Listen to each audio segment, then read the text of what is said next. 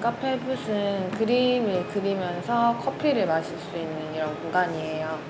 어, 낮 시간 동안은 주로 그린 커피를 많이 드시고 저녁에는 와인을 한잔 하면서 그림도 그리시는 분도 계시고 작업을 하시면서 뭐 와인 드시는 분들도 계시고 이렇게 이제 어, 좀 장시간 동안 운영을 하고 있어요. 12시부터 12시까지.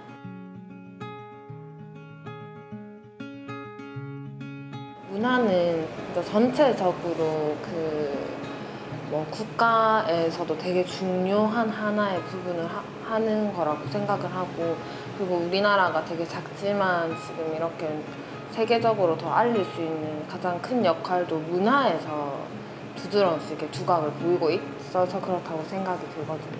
그리고 전체적으로 어떤 사람, 개개인의 사람마다 자기의 가치관이나 어떤 철학이나 이런 생각하는 것들이 다 다르기에 어, 편이 나눠지기도 하고 또 마찰이 생기기도 하는데 문화는 그걸 유일하게 융합을 할 수 있는 거라는 생각이 들어요.